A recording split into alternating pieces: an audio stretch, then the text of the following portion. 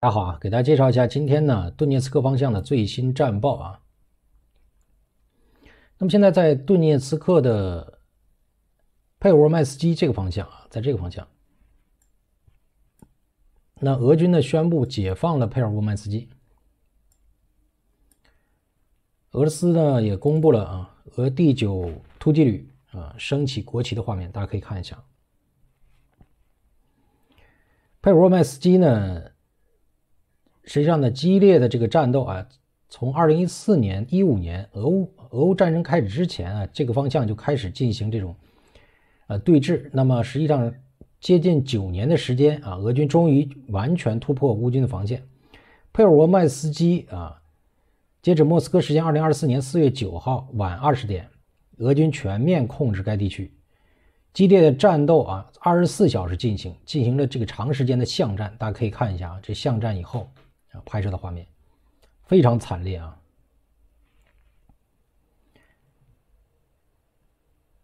那俄武装部队呢，在顿涅茨克方向取得重大进展，佩尔沃麦斯基已完全处于俄武装部队控制之下。第九突击旅的部队升起国旗，俄武装部队已经打通了通往内塔洛沃的道路。这个定居点呢，是奥尔洛夫卡、乌曼斯克、涅塔乌洛三角区乌军防御的最难点。佩沃曼斯基以南向涅韦尔斯科耶方向可以发动攻击啊，所以这个方向对俄军来说非常重要。乌军在撤出以后呢，呃，开始重新集结。现在呢，乌军的主要是进攻，对俄武装备的这个侧翼施加压力。在佩尔曼斯基方向啊，从图上大家可以看一下。它南部呢就是这个马林卡，在克拉斯诺格洛夫卡地区啊，攻势也恢复。俄武装备呢现在装甲集群在铁路两侧啊，那与乌军呢进行交战，相关视频在互联网上也出现了啊，不给大家播放了。在南部啊，俄军呢现在正在控制叫科洛伯克啊幼儿园以东。瓦图蒂纳大街。那现在来看，俄军推进的速度可能更快啊！啊，戈尔洛夫卡在这儿。从这张图上，大家可以看一下，呃，格尔洛夫卡方向在这个方向，佩尔麦斯基在这儿，啊，马林卡。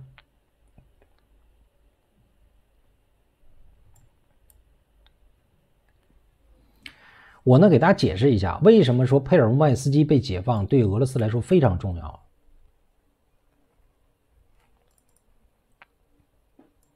啊？大家可以看一下俄罗斯方面啊公布的画面。那从图上大家可以看到啊，佩尔沃麦斯基它是在这个乌曼斯克南部最重要的一个节点。那么俄军想要攻击乌曼斯克的话，俄军现在的先头部队到达乌曼斯克的这个。郊区地带，东郊。那佩尔沃麦斯基如果被俄军攻下，下一个呢就能够到达啊，向北到达乌曼斯克的南郊。那它会形成什么？形成对乌曼斯克三面合围。乌曼斯克南部地区的乌军也很难在佩尔沃麦斯基啊建立这个阵地。另外一点，它向南呢是马林卡啊，连接马林卡。格尔洛夫卡方向，俄军现在也有突破。那从乌曼斯克、佩沃麦斯基到马林卡一线啊，它在南部呢，就是波贝达、新米海洛夫卡，整条线，你把这个图啊再放大，放大到整个顿涅茨克整条战线，你可以看到到沃达尔、库拉霍沃啊，再到红军村这一线。那实际上，俄军整体向前推进啊，特别是向。红军村方向推进，就能保证乌军很难到达马里布尔 M 十四，就比尔江斯克克里米亚这条铁路，就是俄军将乌军完全赶出了克里米亚南部大桥克什大桥。这个打击区，看到了吧？乌军准备在今年呢摧毁克里米亚大桥，那么俄军现在在顿涅茨克的行动，就能将整个战线向前推数十公里。这样的话，乌军的整个的远程打击无人机还有导弹，很难在这个方向够到克里米亚大桥。这个实际上也是俄罗斯方面今年要将解放顿涅茨克宪法边界作为战略目标。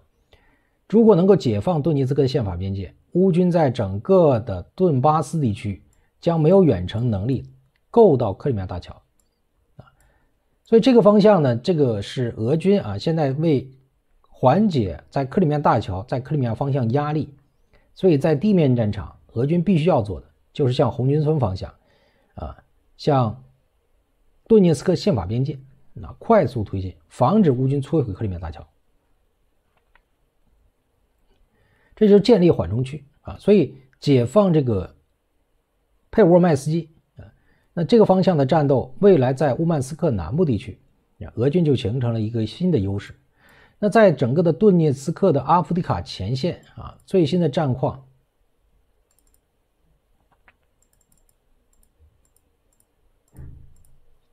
啊，大家可以看一下谢苗诺夫卡方向啊。昨天呢给大家介绍，谢苗诺夫卡非常重要，必须先在谢苗诺夫卡取得突破，才能开始进攻乌曼斯克。那昨天的谢苗诺夫卡也啊也占领了一个区域啊，大家可以看，虽然地方不大，但是实际上也说明俄军在进行不断向前推。那俄军现在已经控制了佩尔沃麦斯基啊，顿涅茨克方向呢？俄军装甲集群的进攻突破了乌军在铁路沿线的防御，也进入这个呃谢苗诺夫卡和乌曼斯克，还有别里奇方向啊。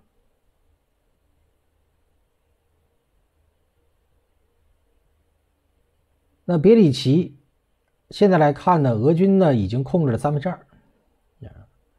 从整个情况来看呢，别里奇之间的这个。战斗啊是二十四小时昼夜不停的进行，俄军很有可能会在未来的几天，也就是未来的四十八小时到七十二小时内啊解放别里奇啊，这个实际上现在来看也是非常明确的了。这个方向呢，俄军还击毙了一名美国工兵，这个人是德克萨斯人啊。从这个俄罗斯国防部公布的数据显示呢，这名士兵呢叫。塞德里克·查尔斯·哈姆，他是德克萨斯人啊，几个月以前刚刚从美国来到乌克兰，啊，他实际上是刚刚到达乌克兰就被击毙了啊。另外，俄罗斯的对外情报总局纳雷什金呢，今天呢进行了介绍啊，对外情报总局说，美国私人军事公司开始在美美洲。啊特别在美国服刑的墨西哥哥伦比亚毒贩成员，在监狱里面招募，啊，在监狱服刑的毒贩前往乌克兰参与冲突。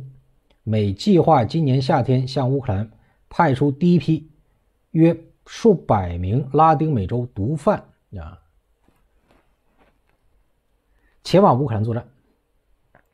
这些毒贩呢，都是在美国监狱里边啊被美国逮捕的。啊，也就是服刑人员，那实际上和俄罗斯当时在，呃，瓦格纳雇佣兵啊使用的政策是一样的，就使用这些监狱里边的毒贩，啊，可能给他们一些赦免，啊，但但是必须在乌克兰作战，啊，那美国现在是把墨西哥毒贩招募啊，俄罗斯方面呢，现在这个情报已经明确的指向了啊，美国，大家看一看啊，这南美洲的毒贩大量在乌克兰作战。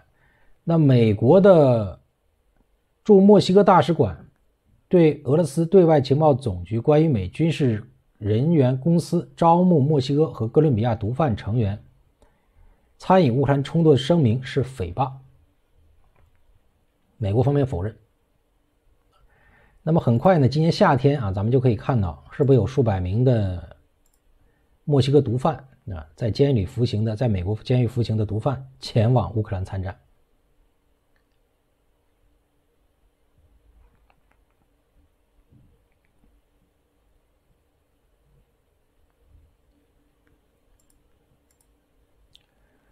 呃，今天呢，关于莫斯科啊恐怖袭击呢，也有最新的进展。俄罗斯的调查机构呢，呃，首次证实啊，拜登啊，他的儿子啊，亨特·拜登，在乌克兰成立的公司叫布里斯马，他呢是参与了对莫斯科恐袭啊恐怖分子资金的往来。那参与恐袭的恐怖分子呢，通过布里斯马公司从乌克兰获得了资金。啊这个布里斯马公司啊，就是亨特·拜登他在乌克兰运营石油、天然气的公司。那俄罗斯调查委员会呢，已经获得了啊乌克兰的布雷斯马公司与恐怖分子进行资金往来的证据。这个莫斯科的恐袭啊，实际上呢，美国还有北约国家认为和乌克兰没有关系。但是现在把这个亨特·拜登啊，他也起底了。大家看啊，布雷斯马和美国总统拜登啊，纽兰，大家看啊，纽兰，乌克兰总统波罗申科都是关系非常密切的啊。那实际上就是拜登他的家族参与了对恐怖袭击、武装分子的资金的支持，这也很有意思。布雷斯马呢是乌克兰的一家私营的天然气公司啊。那这个天然气公司实际上呢，也有很多这个商业上的运作，包括政治上的啊政治现金的运作。目前呢，俄罗斯金融监管机构已将莫斯科市政厅的这个啊莫斯科的这个恐怖袭击刑事案件中七名被告列入恐怖分子名单，不排除未来呢，拜登啊家族的亨特·拜登可能也会被列入恐怖分子名单。那这个非常有趣了啊。今天呢，还有一个消息啊，就是在马里布尔，当时大家应该记着，马里布尔这个直升机大队的叫“疯鸭子”中队驾驶员被俄军击毙。这个“疯鸭子”中队当时是解救了美国还有乌克兰的这个被围困的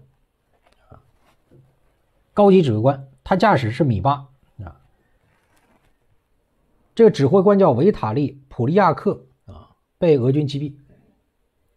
当时二零二二年啊，这个米八直升机啊，疯鸭子，大家看啊，就是这个啊，疯鸭子。他呢驾驶这个米八直升机多次进入马里乌尔被俄军围困的亚速钢铁厂，撤走了大量高级人员，包括美军高级指挥官。疯鸭子，大家看啊。所以当时的美军顾问啊，当时美国的一些高级将领就是由他亲自驾驶米八直升机撤离的。当时我大家可以介绍了啊，这个。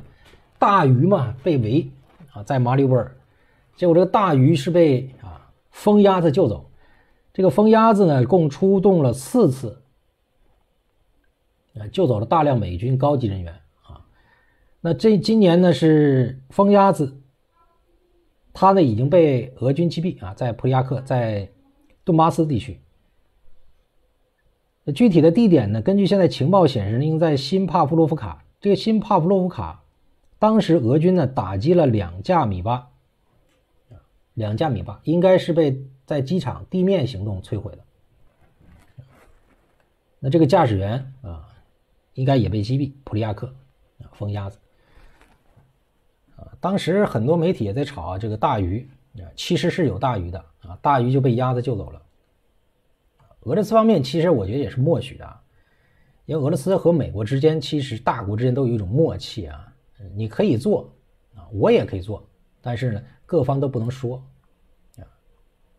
当时马里乌尔战役嘛，啊，两年了。那这是今天的顿涅茨克的最新消息啊。俄军现在这个推进速度啊，我觉得是可以的啊。到夏季啊，很有可能开启包括克拉马托尔、斯拉布扬斯克、红军村方向的一个战役。那这样的话，实际上俄军啊，能够使乌军远离马里乌尔至比尔江斯克一线，就保证了克里米亚大桥的安全。啊，乌军呢将很难使用远程武器打击到克里米亚大桥。我会持续关注顿涅茨克啊，后续呢有更多消息，我呢也会第一时间给。